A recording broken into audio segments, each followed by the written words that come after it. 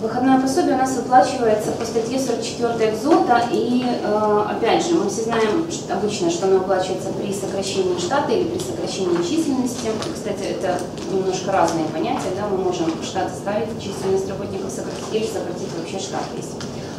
Э, у нас есть еще э, случаи, когда работник увольняется, и ему э, нужно выплачивать выходное пособие.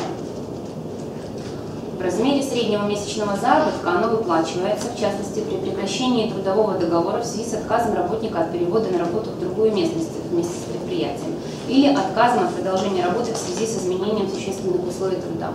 Что это может быть? Например, работнику сокращают рабочий день, да?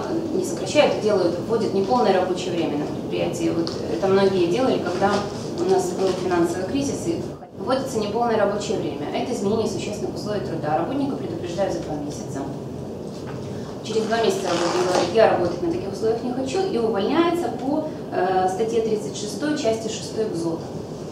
В этом случае ему выплачивается выходное пособие в размере среднего месячного заработка.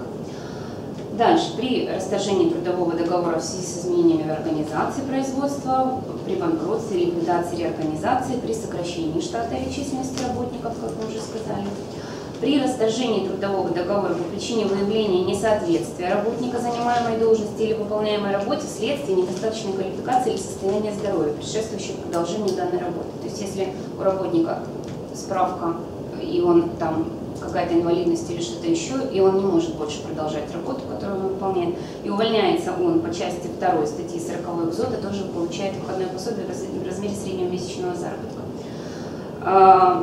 При отказе э, работника в доступе, работнику в доступе к государственной тайне, ну, я думаю, что у вас, наверное, нет таких случаев, да?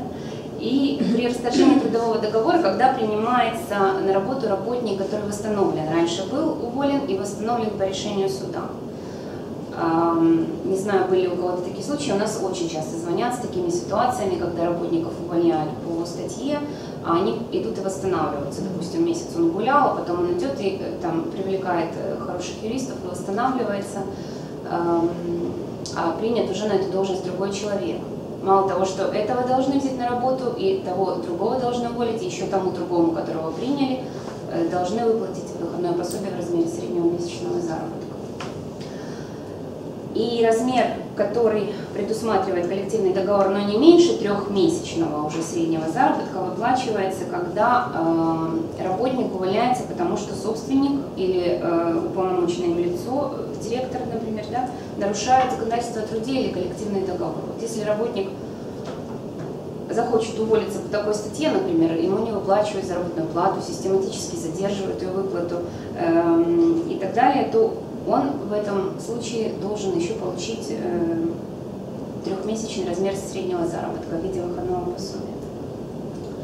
Теперь как считаем?